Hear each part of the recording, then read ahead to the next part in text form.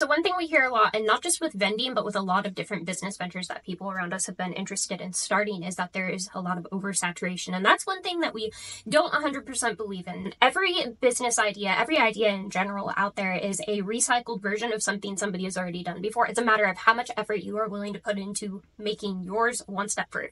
Vending is very unique in the sense that it um, is something that can apply to multiple different places. There's constantly new businesses opening. There's constantly businesses that don't have any machines. And really, I mean, it's just a matter of getting into those places that somebody else hasn't already. E-commerce